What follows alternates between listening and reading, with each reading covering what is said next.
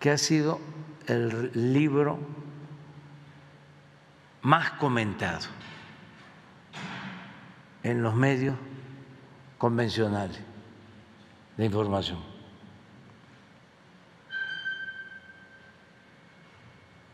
Ninguna escritora, ningún escritor este año ha sido tan entrevistado.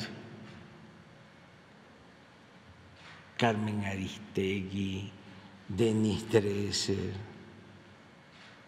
Hagan la lista. No hay nada que este, se le acerque por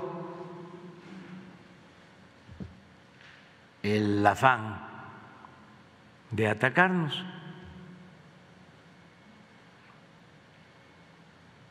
Como nunca en la historia del país. Solo se veía esto cuando atacaban al presidente Madero, porque ni a Huerta